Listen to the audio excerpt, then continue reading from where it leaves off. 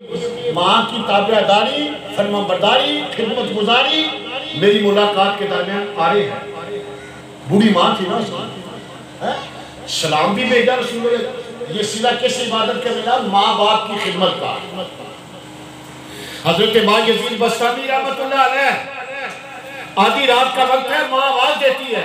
इधर आज हम हैं, माँ आवाज़ दे रही है बेटा बात को भागे जा रहा है। बेटा बात तो सुनो हूँ कहाँ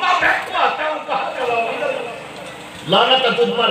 तुझे ये खबर नहीं है कि तेरा जो कदम भी अब उठेगा माँ की आवाज़ के बाद, वो वालदेन की नाफरमानी में तेरे माँ का हुक्म है, तेरे बाप का हुक्म है कि बेटा इधर आओ। अब तू अपनी मर्ज़ी नहीं कर सकता खुदा की नाराज़गी में फेंका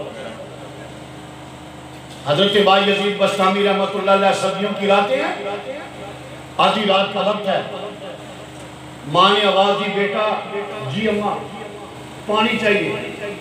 बेटा उठा, घर में पानी नहीं था। बर्तन लिया और गाँव से दूर नहर के किनारे चला गया। रात के वक्त सर्दियों की रात है। गौर करो जरा।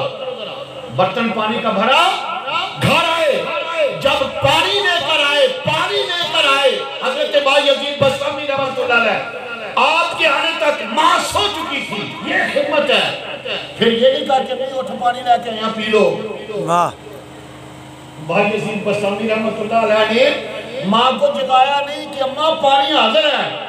फरमाया कि अब भाई यजीद